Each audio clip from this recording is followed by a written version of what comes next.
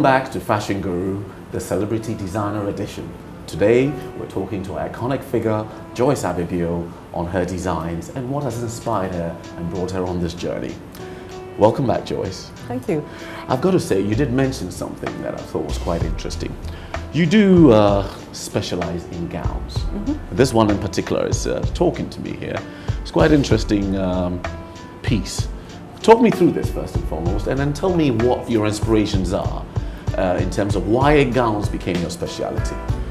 Well, let's start off with me because okay. this is a, a student's garment. So, I see. Okay, someone uh, under your tutelage? Somebody, yes. Okay. So I can talk about that at some point. Mm -hmm. But uh, I love doing gowns. I okay. like how it moves, how elegant it can look. Mm. That's the reason why I love to do gowns. So um, that was what I specialized in. Did you wake up one day and say, gowns? What, uh, you know, something must have happened, yeah. When you're learning design, you get to a point where you know the things you actually love to do mm, mm. the most and you enjoy doing. Okay. So you figure out which area you really mm, like mm. to do. It doesn't necessarily mean you can't do anything else. You can yeah. do everything, but there are certain areas that you really, really love to do. Mm. So for me, that was the part I enjoyed doing I the most. So would you say then that uh, your specialty is gowns. Yes. Um, and would you also say that if anybody mentions your name, the first thing that comes to mind is, oh, Joyce Ababio. Yes, for, for a very long gowns. time, yes. Yeah? For a very long time, that was what I was seen to do. Okay. Most people, if they had a gown, a wedding gown, whatever it is, first thing, or even if it's kente cloth, mm -hmm. they would come straight to me. Okay. And it's the first name that comes to mind. Right. So that's right. what I was doing for a very long time until school took over okay. some of what okay. I do. Wow. But this is a, a student's outfit, mm -hmm. and uh, mm -hmm. this particular student seems to also enjoy doing gowns. So, I see, okay. Because everything I've seen her do is more leaning towards that direction. That's So. direction. So, Joyce, you're an extremely busy woman. The dimensions of what you cover, especially with regards to your university college, must be quite daunting and quite taskful. I would like to know whether sometimes you just hit a blockage and you feel, I need to get away. What do you do to regroup, to zone out, and rediscover or, you know, refind your core of where you're coming from? Because it happens to all, the best of all of us. It does. And um, if we are talking about the school, mm -hmm. then uh, usually I take a break. Okay. I don't usually take a break that much. I'm always here. Too hardworking. But um, I try to take a break out of Ghana for a little bit and uh, take my mind off things for okay. a little okay. bit, you know, cut down on the stress and mm, mm. all the things happening or look at something new and then come back and feel. Do you have a particular place you like to go to? Well, I'll say I go home because, home. Uh, and that is in San Francisco. Oh, I so see. Okay. I usually would go rest up a little bit, mm. take my mind off stuff for a bit, and then come back and feel like I have energy to get back to That's what right. I do. so what does that look like for you? Time along the beach, massage parlors, relaxing in a spa? What does that look like for Joyce? You'll be surprised that I'm not None of the that above. sort. Oh, I see. Really, if I have to go back and, and take a break, I would sleep. You'll sleep? Oh, because okay. usually I'm here from morning till 8.30 mm. almost every day. So sometimes it's just, you're just tired mm. and I need a break. So I'll sleep for a while and then uh, it goes right back to business. I have I things okay. I have to pick for the school and all that. So I go to do all those things wow. as well. I of course, like you fit in one or two of those things, but uh, as well. Yeah. I would like to know what a day looks like for you. A day in the life of Joyce Ababio, from Work. the beginning to an end. And I know you'll have days that will differ, and no day is the same. But I'm sure there are certain facets of it that always are almost constant through the week. What does a day look like in the life of Joyce Ababio? Work, crazy. Uh -huh. um, I, I really have a crazy schedule. Mm -hmm. There are days when I, I don't get out of my chair mm -hmm. because people are coming in and going out and coming in and going out. And I also lecture in the school as well. So um, I have my time that I have to teach a class. So I'm also in the classroom for some hours. So I have a really busy schedule. Uh, this school has morning, afternoon, evening. So I have certain times that I have to teach morning, afternoon, and evening class. Right, right. I can be here till 8.30 some of the days. Joyce, we've talked about gowns extensively. Is there any particular garment or outfit that you like to stay away from? You know, you're thinking, oh, that's too tedious, that's daunting. Do you have one that is sort of your uh, a no-go area for you?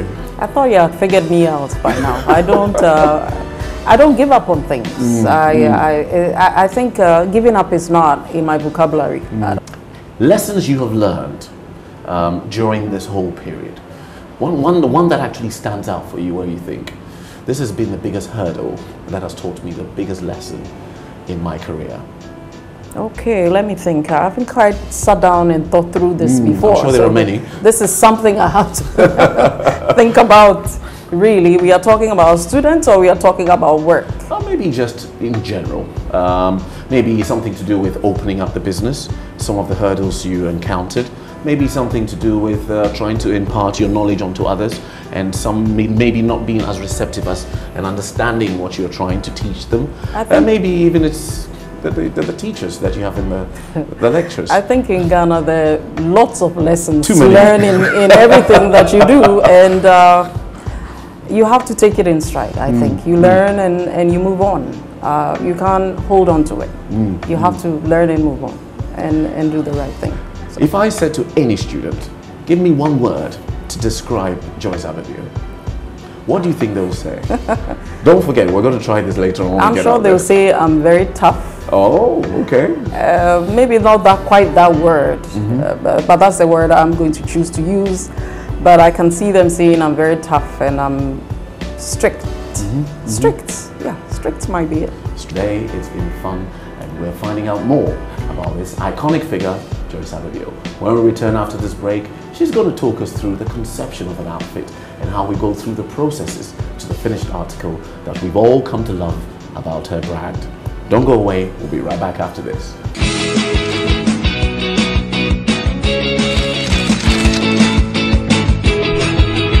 Welcome to Fashion Guru, the Celebrity Designer Edition.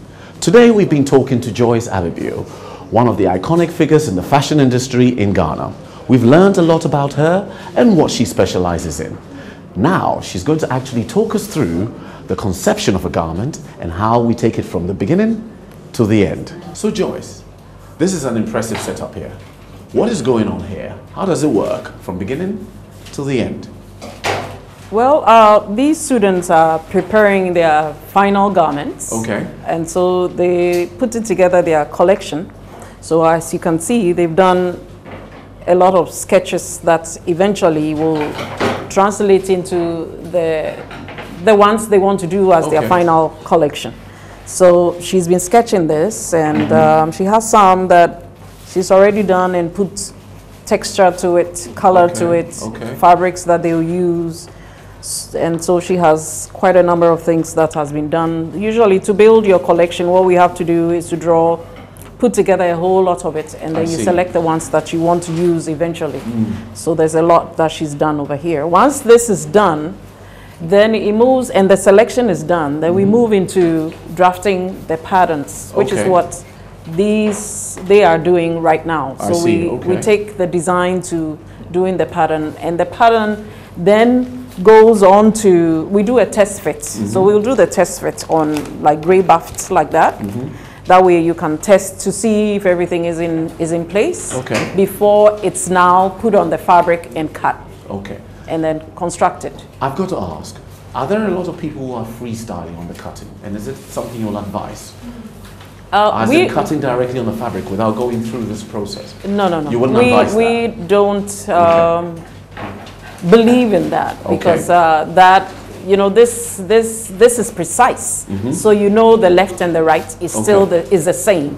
You don't want to guess, and and this freestyle is guesswork I basically. So see. if you see people who have seam allowances in their garments, you can actually see they have They two, four inches in there. You know, is guesswork. I see. But this one is precise, so you have a specific seam allowance that you have to use I see. I see. to do the work. So everything is exactly to the measurement. Okay, okay.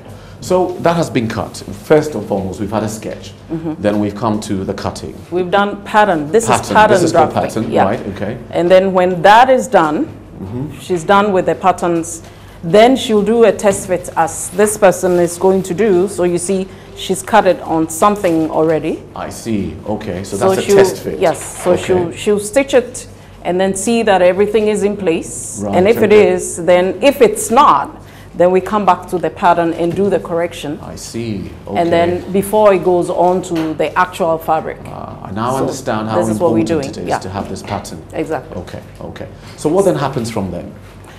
Once the pattern is totally done, uh, there are different ways of doing this. It depends. If you're a worker, then you have to make a decision. If you are mass producing or something, then you want to grade the pattern into different sizes. Okay. So in other words, you have a 4, you have a 6, 8, 10. That way you can produce different ones like I that. see. But if you're doing individual work like this, so whatever the size you use is what you're going to do. Okay. So okay. right now, when she's totally done, we will place it on fabric, the actual fabric we are going to okay, use, okay. cut it out, and then sew. I see.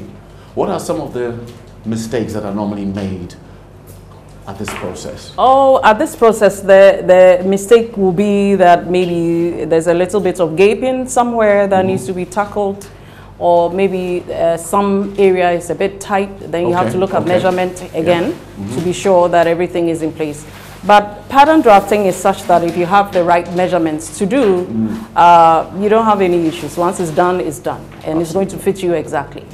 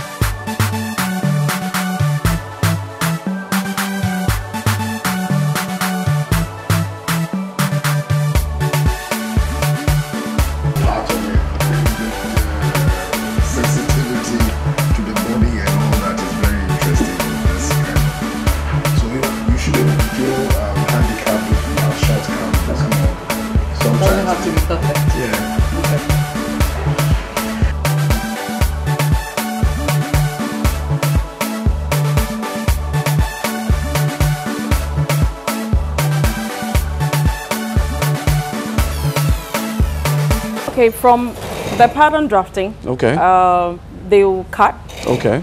and then they will bring it in here and come and start putting the pieces together. Okay. Okay. So um, depending on what texture of material you're working with, Mm-hmm, there's a, a different sort of seam finish you have to Okay. use. Okay. okay. So, So is that what this lady's working on at the moment? that's Is what she's working I on right see. now. She's using the French seam as a seam finish. Okay. Uh, because of the texture of material she's using is very light, so we want to encase the raw edges inside. Okay. Okay. So that is a French seam, so that's what she's just okay. done. How many types of seams have we got? A number of them, and Okay. it, it depends on texture of material. I so see. It, it, I mean, if I'm sewing jeans, there are different types of seam I finishes I would use. Okay, okay. If it's a delicate fabric like this, there's also a different type of fabric that, Okay. you know, seam I would use. Okay, So there are okay. different types that Okay, you can okay. use based on. I can't also help but notice, that we've got different types of machines here. Um, there's about three types I've seen so far. And the one that actually uh, gets me very excited is the, uh, the, The good old old traditional singer. Exactly. Um, so, is this a process of learning through the different types of machines? Yes, because the students mostly come in with no background. Mm-hmm. So for some, uh, they need to be slower, and for some, they need to be faster. We Mm-hmm. Okay. don't like to train them with a regular hand machine because we are past that age. I see. So it's got to be electric. Okay. However, some want to be slower with what you're doing. Mm-hmm. For some, it's faster. And those who feel, I'm really comfortable with this, We'll move into using the industrial machines because that one is even much Okay, more faster. okay. So it depends on uh, how you feel and what you How think, comfortable you how are. comfortable you are. So you pick the one that works Mm. for you, basically. And those who are coming for the diploma, what machines are they using? They go straight with the industrial machine. Wow. Everything Okay. in the diploma degree is industrial. Okay. So we let them start from the beginning. So we let them go through practicing how to use the machine without running over their fingers and stuff. Why is it that when you come in at a diploma degree, you have to use industrial machines? Well, you know, the way we look at it is certificate is us teaching them skills. Okay. So they get to take it at the pace that they want to take it. Okay.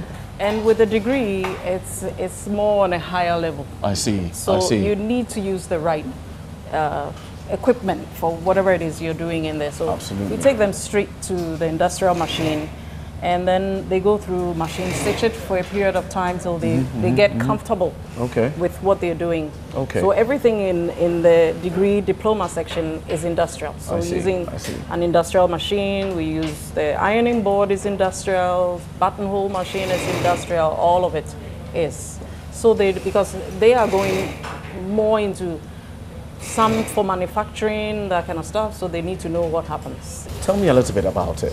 That one is the certificate program is just for a year, and uh, they it's really intensive, Okay. and they do a lot of work. Okay. I mean, by the time they're done uh, in the year, they should have done ten garments. Ten garments. 10 garments Okay. by the time they are done and, and using different textures of materials Mm-hmm, to do it and they sew to their body type or somebody Mm-hmm. else's basically but it's more developing their, s- the skills for them so those who want to go there and do my own work when I'm Right. done are able to do these things so Okay, that's what the certificate program really I is see. about. And it's been extremely successful so far, very much it? so we've done this for 20 years now Okay. Yeah. Wow. very much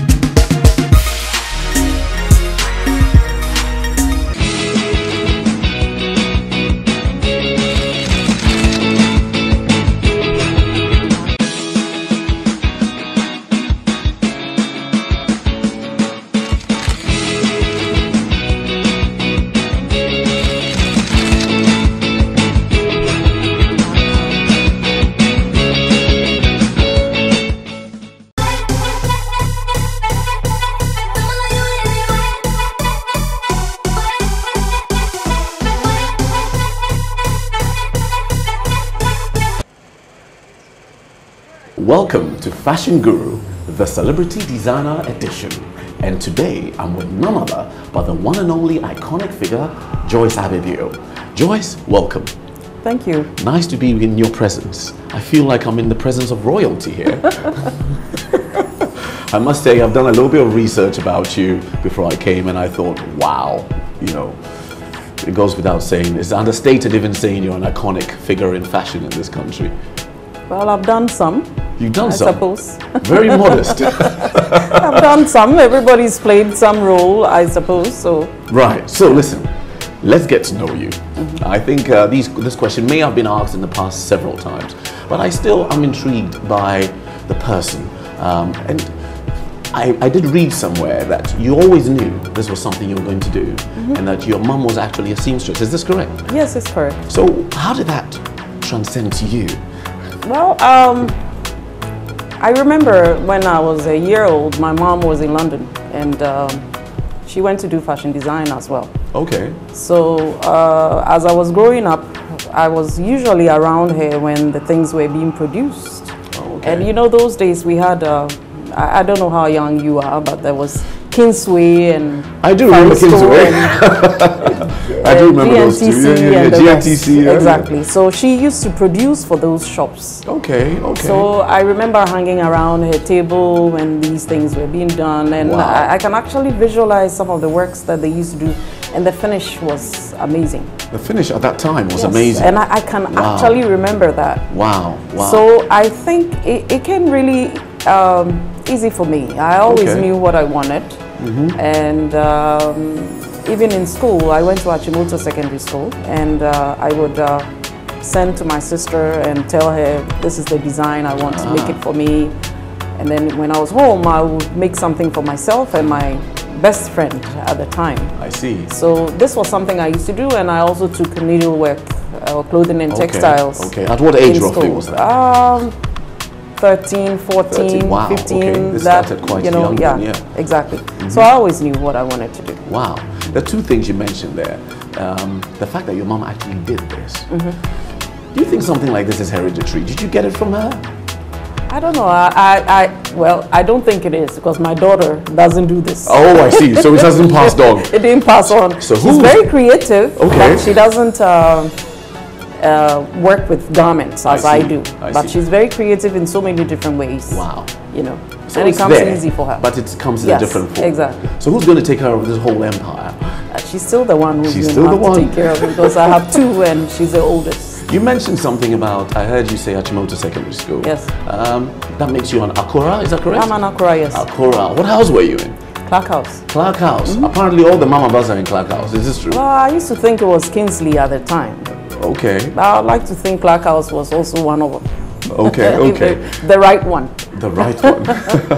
so, how did Achimota layer on onto what you probably had already started doing?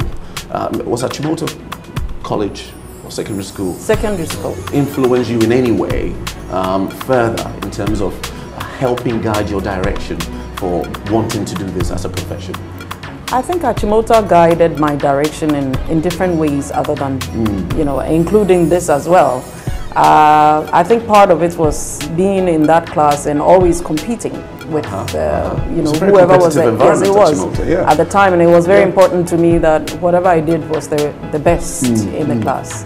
But even with that, I must say that I knew where I was going, but I hadn't really given it that much of a thought. you know, at that time, it's more I'm going to school and that's about it right. kind of thing. So um, it was when I finished that I knew that moving on, this is what I wanted to do.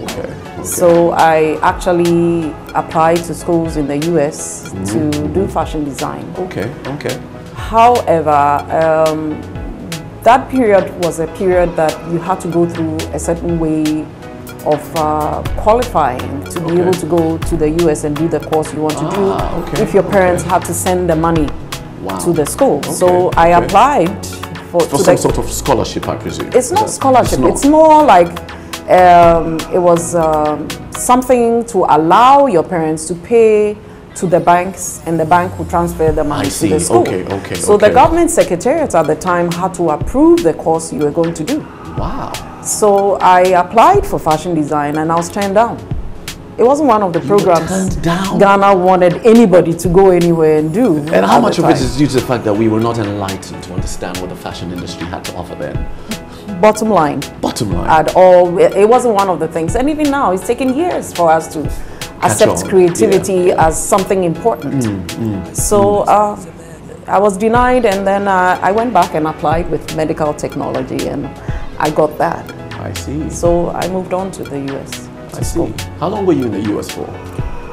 Uh, 13, 15 years. 13, 15 years. Yeah. A huge change in terms of environment, I Exactly. presume. And in, even in your application process Mm-hmm. into how you apply yourself to work, I presume. So talk to me a little bit about that. How does that feel like being in an environment where you haven't grown up um, and having to apply yourself uh, and learn the ways of Well, uh, behavioral society, etc. I started off at St. Cloud State University, Okay. which is in a very small town called St. Cloud.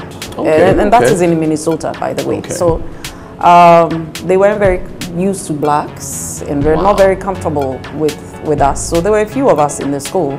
Okay. And, uh, you know, it started off with you coming in with an accent somehow they refused to understand. Um and you not understanding them as well. And it takes some time for you to yeah, yeah. pick that up and, and get what you're going. But the interesting part was starting a class and being put in an auditorium that has tons of people, and uh, you have to work with with uh, what they give you. Okay. Hmm. Interesting. I, I've got to ask also that what was the turning point? At what point did you think this is it, and you zoned in onto that and stayed on that path? Was at what point did this happen? Early years with the needle, maybe, or are we looking at Achimota, the competitive side of things, or I when did it actually, or was I- it the GNTC time where you thought this is me, it's all me? I don't think I thought much of it at that age. Mm, I, I think I, I thought about it once I was in the university as to what I wanted to do. So by the a year and a half in St. Cloud, I knew there was no way I was going to continue doing Mm. medical technology. So I transferred to another school, Texas Women's University, and it started doing fashion design Okay. in that school. So at that time, I was sure of what I wanted, Mm. and I knew that was the only thing. Actually, I wouldn't say it's the only thing. I always had two a passion for two things. One of them was law, and the other was Law? fashion. Yes. Okay, you never followed that route, did you? I followed the, the route of law for a period of time. I Okay. actually worked in a law firm for about seven years. I see. Yeah. So nobody can actually pull any wool off, of your, off, your, off your eyes when it comes to uh, business. Uh, I know some, yes. I think if I'd uh, stayed in the US uh, a little bit more, I might have then gone to law school I or see, something. But I see. did go to do a paralegal program for Mm-hmm, a period of time that allowed me to work in the law firm for a period of time. And I actually enjoyed this. I Mm-hmm, really enjoyed being a litigation paralegal at a company called Gibson Dunn and Crutcher. Okay, And okay. Mm. I worked there for some years, and I enjoyed that as well as doing my work also on the side. But eventually, when I had to choose between the two, it was always fashion. It was always going to be fashion. Always fashion. But that law, I presume, has helped in terms It of helps a lot the way you think Yeah. and the way you reason Yeah. through stuff, and that for me was a good thing to Absolutely. do. Yes.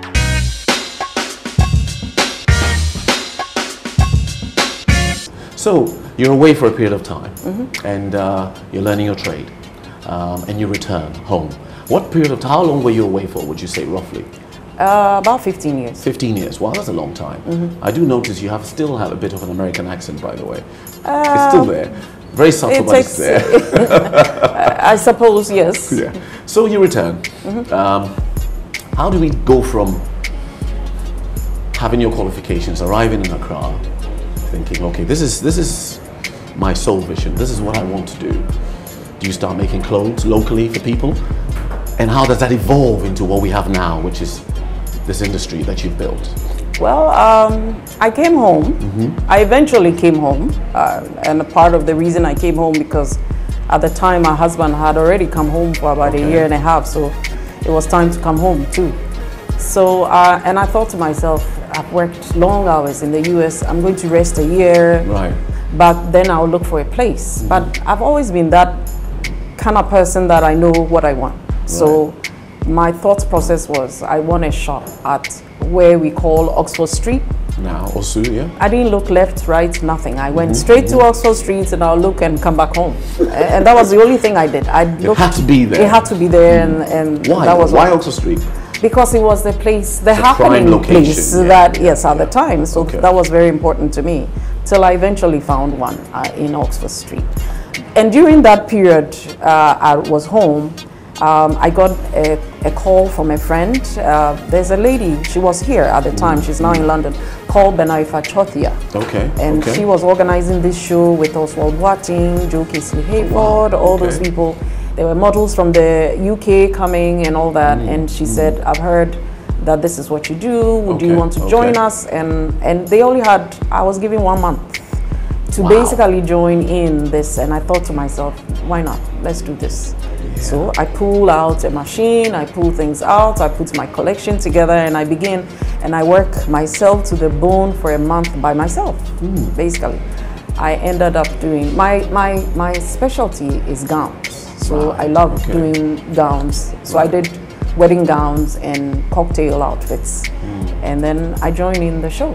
And when I was done with that show, I was already there. Mm. I mean, everybody's looking for you. I didn't, the shop wasn't opened yet, so uh, they would come home. Mm, And that was the beginning of me in Ghana. Three things you said there that actually resonates with me a little, and it's um, the first one I think is to do with the fact that you focus on Oxford Street, and that is where you had to be, and you went for it. You didn't get distracted with anything else. No. You were not thinking of secondary options. Um, that that on its own for me says a lot about you uh, in terms of if you want something, you go for it. Am That's I right? me, yes. It is. Yeah. Okay. I also like the idea that you um, mentioned that you were given a month to prepare for something, and more often than not, people think, "Oh, it's too much. It's One month," but you looked at the bigger picture, the opportunity, and you did it, and you delivered it. Yeah. That must have been a challenge. It was. Uh, I remember when uh, the show was over, I think I slept straight through a day. Wow. I didn't wake up. I mean, I was just exhausted. So I, I it was a, it was a challenge, and This is- I'm glad I did that. this is more like one of those things: suffer now, and then again, later. later. Yes, exactly. Wow, what an extremely impressive life so far. And I'm sure our viewers want to learn more about you and your industry when we return. You've heard it from the horse's own mouth. This is Joyce Ababio, an iconic figure in the world of fashion. We'll be right off after this break to learn more about what she does and how she does it. Don't go away.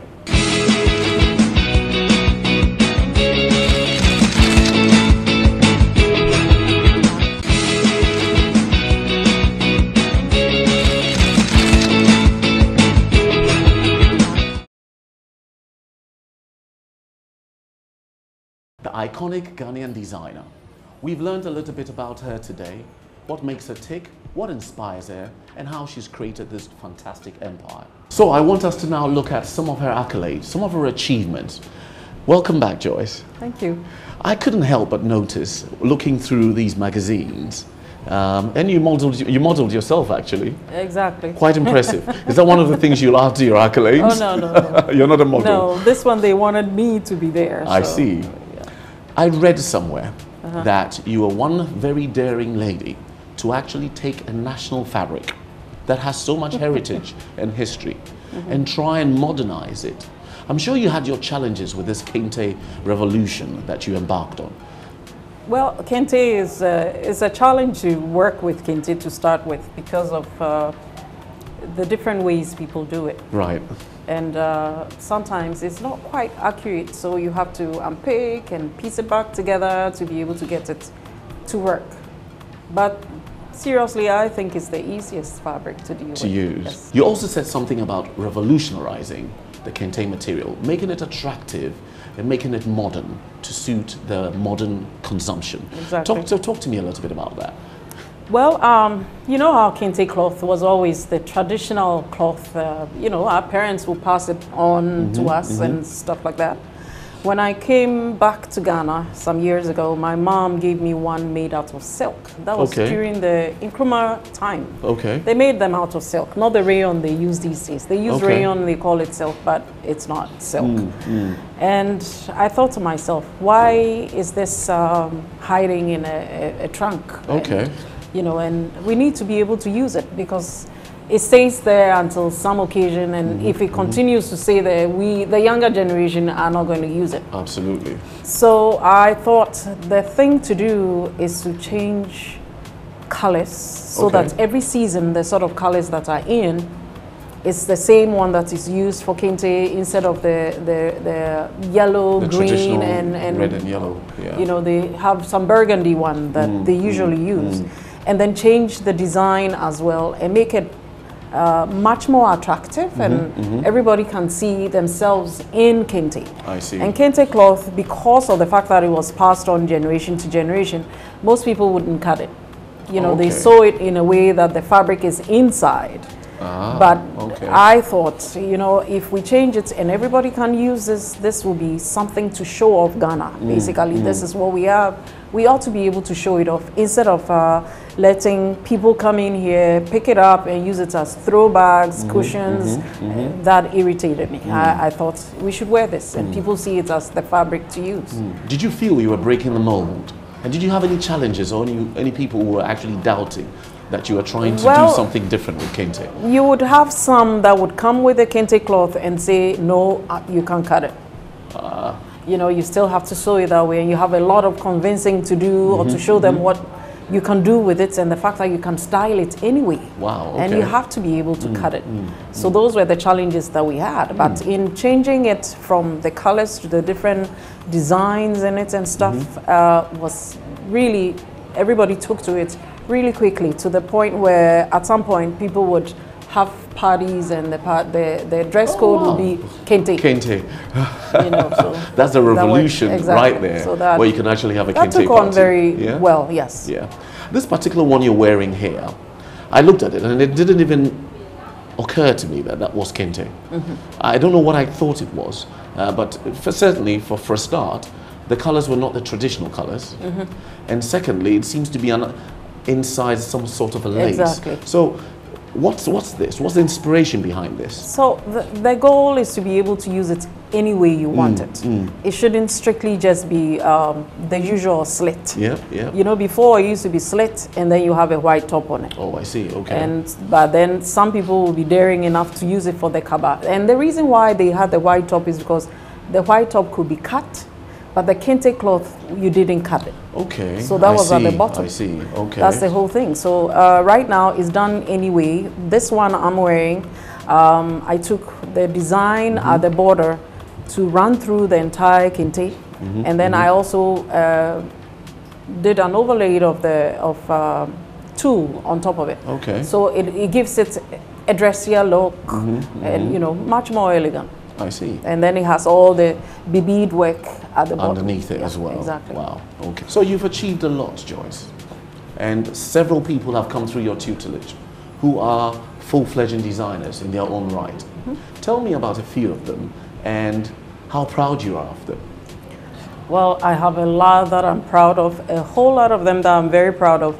Some of them you haven't heard of them because you know it takes uh, finances to pull yourself to a certain level. I see. But I know what they are doing. At whatever the level they are at, they are doing amazing good mm, work. Mm. But there are those that you've heard of, and, and and the one that comes out all the time is Christie Brown Christie Brown, yes. because uh, she's broken it into a whole different level. okay. So okay. uh, she, you hear of her a lot, but I have from Christie Brown to Ophelia Crossland, for instance, has two labels. She does for children, she does for you know adults. So she has two labels. I have B Vanage, who is doing amazing work. Um, there's uh, Bridget Smirky Ibrahim. There are quite a number of them, and recently we've had some.